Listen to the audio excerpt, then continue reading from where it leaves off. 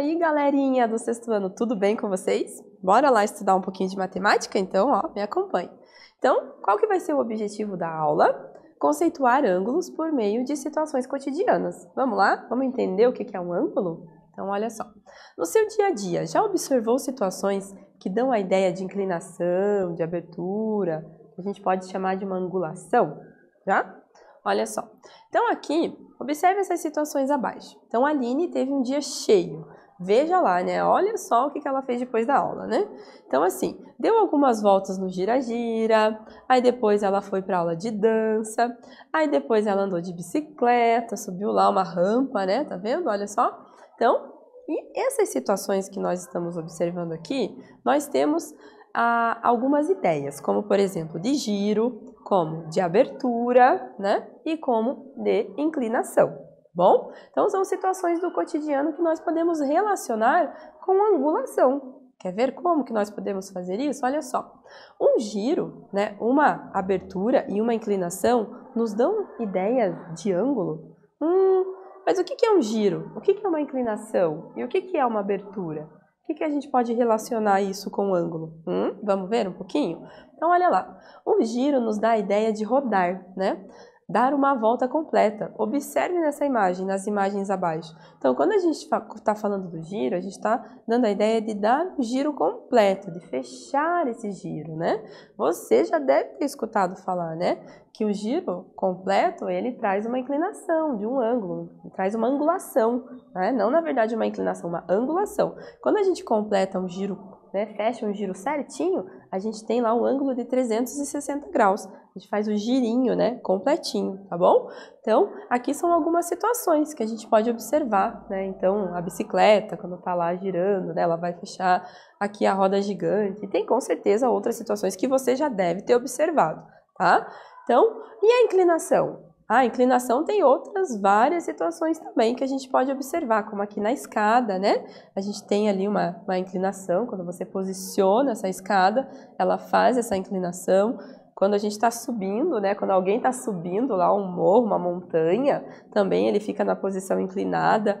Está andando de skate também numa posição inclinada. Então tem várias situações. Você já observou alguma outra, né? Uma estrutura muito famosa também inclinada. A árvore, nesse caso, também tem uma inclinação. Então, tem outro, tem né, diversas, diversas situações que a gente pode observar algo que está inclinado, né, que está né, numa estrutura que não está plana, que não está retinha, ela está inclinadinha, tá bom? Aí aqui, ó, também tem o, a ideia de abertura, quando a gente está né, num processo de abrir algo, né? Que também forma uma angulação, não é verdade? Se a gente tem, por exemplo, aqui a abertura, né? O notebook. No notebook a gente consegue deixar ele em vários ângulos, né? Dependendo, tem alguns que até dobram né, por inteiro, né? E viram tablets, enfim, tem vários aí que tem essas possibilidades. Então, assim, ele pode ficar nessa abertura e cada abertura ela vai identificar um ângulo. Isso mesmo. A tesoura também, ela tem várias angulações, né? Normalmente a gente usa uma delas para ir cortando e tal, né? Mas você consegue abrir um pouquinho mais, fechar um pouquinho, e ela tem essas angulações. Esse, esse modelo de escada também, ó, né? É uma abertura, e aqui forma um ângulo de abertura, né? Aqui também a gente tem um ângulo, né? Nessa linha férrea, né? Onde tem os trilhos ali, tá? Então ele faz um ângulo de abertura, talvez quando o trem vai trocar de linha, né? E assim por diante, tá bom? Aqui também na dança, né? Tem vários passos de dança que fazem angulações de abertura, tá bom? No balé isso né, é bastante visual, tá bom? Então, vamos praticar um pouquinho? Olha lá. Classifique as imagens abaixo seguindo a ideia né, que, que nos passam, que, no, que, no, que nós acabamos de ver agora sobre giro, abertura e inclinação, tá? Então veja, observe o que, que você identifica nessas imagens, né? Aqui a gente tem quatro imagenzinhas e nelas é para vocês classificarem se é se elas né, nos passam a ideia de giro, de abertura ou de inclinação, tá joia? Então a prof vai dar um tempinho aí para vocês pensarem nessas imagens, rapidinho aí, tá? Já retomo para a gente verificar isso.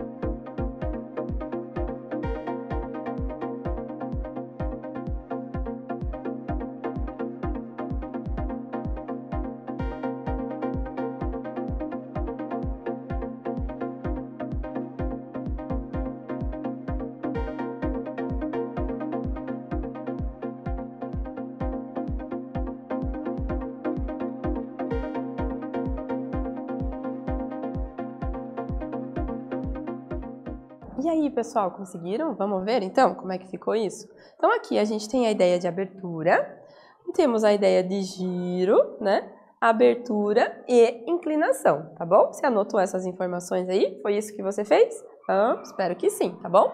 Caso não, né, dê uma olhadinha e tente interpretar melhor essa situação, tá bom? Beleza? Então tá bom. Você já ouviu falar a expressão gol no ângulo? Já ouviu isso? Olha lá. Sabe o que, que significa? Um gol no ângulo. Acho que você já deve ter escutado falar, né? Já deve ter visto. Então aí, olha lá.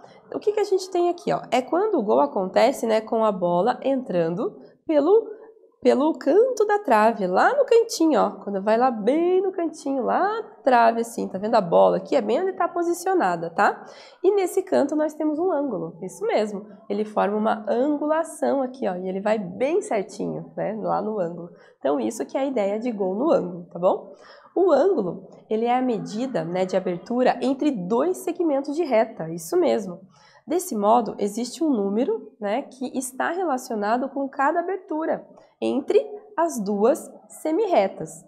E quanto maior a abertura, maior é esse número, isso mesmo. Então, quanto for maior a abertura, maior vai ser esse número. Quanto for menor, menor vai ser o número também, tá bom?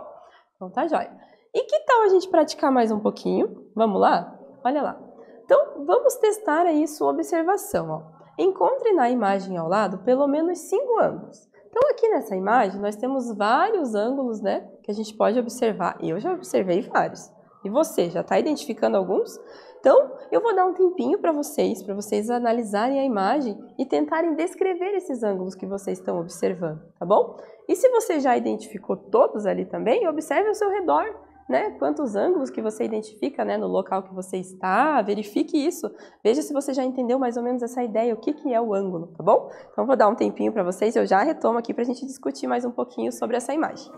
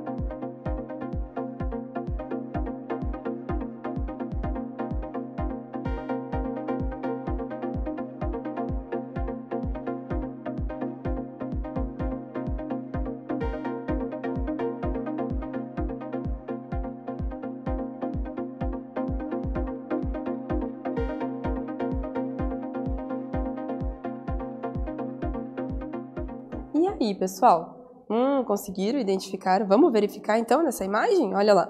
Então aqui tem a imagem, né? E dentro dessa imagem, olha só, algumas respostas possíveis que a gente pode observar, né? Então aqui a gente tem o telhado, né? Daqui no telhado tem aquela aquela angulação que a gente pode observar na porta, né? Na porta também tem essa angulação. Aqui na gangorra, até no movimento, no braço, né? Aqui no braço dos personagenzinhos que estão na imagem, também nas sombras, né? Parece uma sombra, tá? Também tem aqui dentro do, do próprio gol, né? Da, da, da quadra, né? A gente tem também. Aqui no centro do, do campo também tem. Aqui na, na travezinha também, né? A gente tem nessa, né, nessa cerquinha, na verdade, né? A gente também consegue identificar algumas angulaçõezinhas, né? Que vão formando esses ângulos, que vão nos trazendo essas informações, né? Sobre os ângulos, tá? E aí, no seu cotidiano, você já observou alguma angulação? Ah, vamos se aventurar mais um pouquinho nisso, então. Aqui, gente, olha só. Agora, você já acessou a plataforma do Matific? Não? Ah, então acessa, porque lá tem vários jogos divertidos que vocês podem ir testando seus conhecimentos. E particularmente esse jogo aqui, ó, Polygolf, né, classificando polígonos, vértices, lados, ângulos e né, até 10 ali, é um jogo que explora bastante essas ideias, tá? Que a gente vem trabalhando em relação aos ângulos, em relação aos polígonos, é muito bacana, tá? Então acessa lá, utilize o seu arroba escola, tá bom? Peça para o professor atribuir o jogo para você e onde que você acessa? No www.matific.com.br, tá bom? Vamos lá jogar um pouquinho comigo?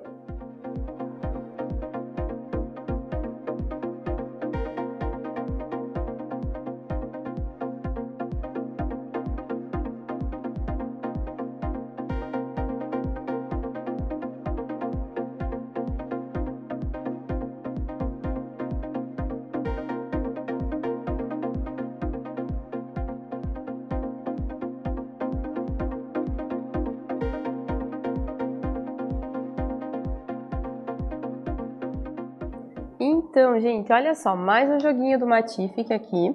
E aqui ele está pedindo, ó, clique em um polígono que tem exatamente cinco ângulos. Então, aqui nesse formato do jogo, então nós temos que observar.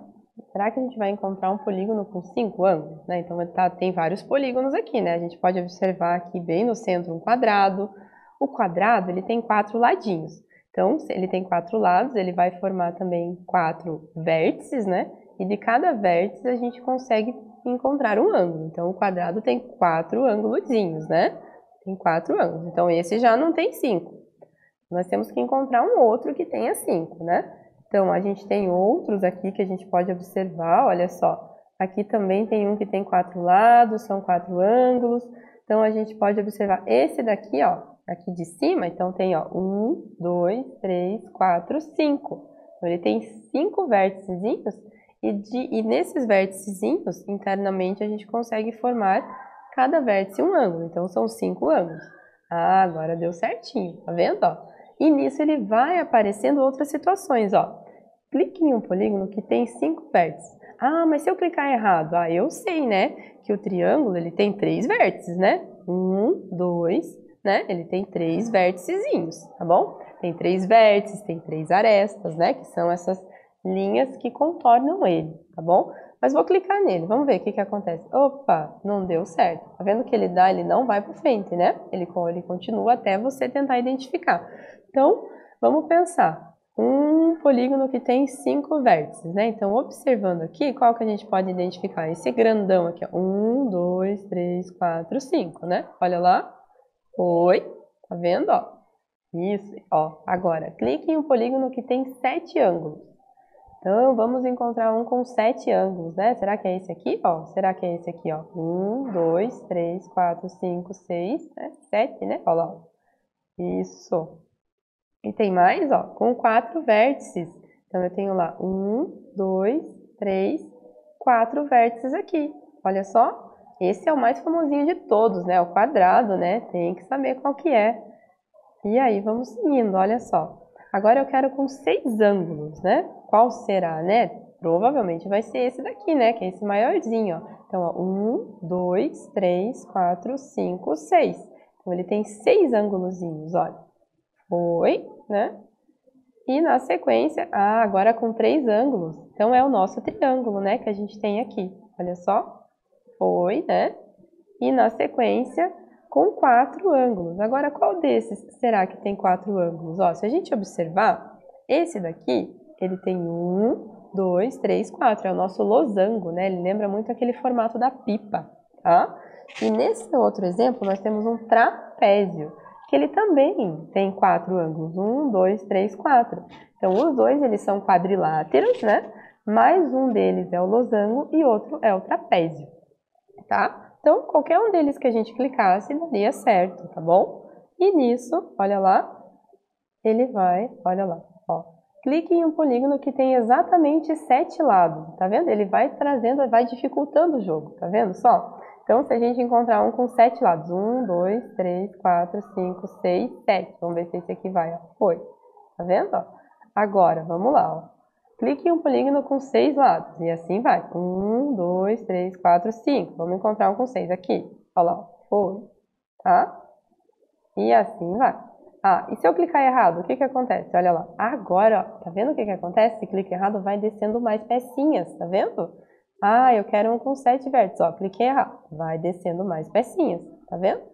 Se eu clicar, ele vai descendo mais. E daí, ó, ele vai indicando também qual seria o próximo, tá? Olha lá, aqui, né? Agora com quatro lados. Qual que seria com quatro lados? O quadrado, tá? E assim vai. Para você zerar tudo isso aqui, agora não pode errar. Nesse nível aqui, agora não pode errar, porque senão vai descendo cada vez mais pecinhas, tá vendo? Então, se você fez fazer com sete lados, e assim tem que ir indicando essas coordenadinhas, né? Que eles vão dando aqui. Clique no polígono que tem quatro lados. Né? Então, encontra aí um que tem quatro. Esse aqui, né? Tem quatro lados, tá bom? E assim você pode agora ir jogando e tentando terminar, né? Porque tem bastante pecinha aqui pra gente terminar ainda, tá bom? A gente se vê lá na telinha. E aí, gente, gostaram do jogo? Viram lá que tem vários polígonos que a gente pode relacionar com a quantidade de ângulos, quantidade de, de lados e explorar um pouquinho mais dessa parte da geometria, na é verdade? Tá bom? Então, continue jogando, entrem lá, acessem. Tem vários jogos relacionados com essa ideia de angulação que vocês podem estar explorando, tá bom? Beleza? Então tá joia, né? Então tá bom. Então, o que, que nós aprendemos, né? O que, que nós estudamos nessa aulinha aqui de hoje, né? O que, que é um ângulo que o ângulo a gente pode identificar em situações de giro, inclinação e de abertura, né? E onde que nós podemos encontrá-los no nosso cotidiano, em diversas situações, algumas colocadas aqui, outras que eu tenho certeza que você também deve ter identificado aí no seu cotidiano, tá bom? E também ideias associadas, como eu falei, né? A giro, abertura inclinação. E também a ideia de ângulos em relação aos polígonos, né? Nós Vimos polígonos com 5, com 3, com 4, por exemplo, quadrado com quatro ângulos, né? Então, nessas situações, nós conseguimos trabalhar várias ideias iniciais de ângulo, tá bom? Belezinha? Tá jóia? Então, professora deixa aquele abraço bem apertado para vocês, ó, e até mais!